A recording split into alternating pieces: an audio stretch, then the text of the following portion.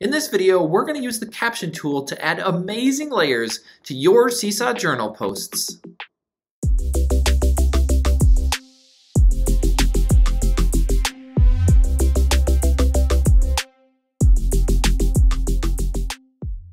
The caption tool can provide a lot of power to any Seesaw post, no matter what you're actually posting about.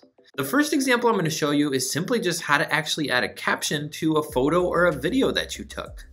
In order to do this, we're going to go down to the bottom left where there's the caption button, and we can click that and we can add our caption two different ways.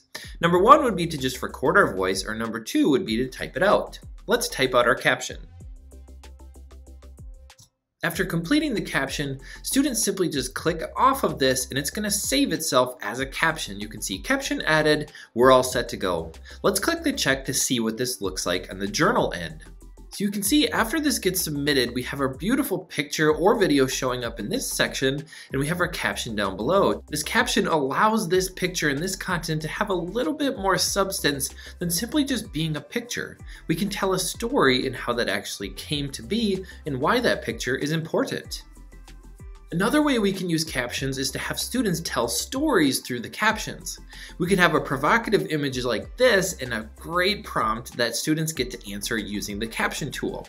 Let's type up a response to this awesome question. Let's see what our caption looks like by clicking the check we can see here that we can provide a whole opportunity for students to write as long a story as they want to and still include an awesome header picture so that their content can come to life and their stories can really be told in a super unique way all by using the caption tool. This creates a one-stop shop for amazing works of art and writing pieces that your students can complete. The final example is to use this to share a process or to even just share step-by-step -step directions. For example, we have a picture of a makerspace here. Maybe the students wanted to tell what they worked on that day and how they actually got to the point of 3D printing something.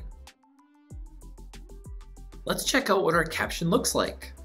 Just like all of our other examples, we have a powerful, robust journal post.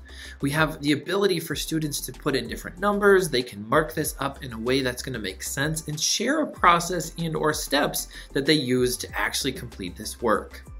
The caption tool allows us to add so much more content to our posts in the journal. I hope that you found some useful ways to actually use this and to extend your learning inside your classroom by simply using the caption tool.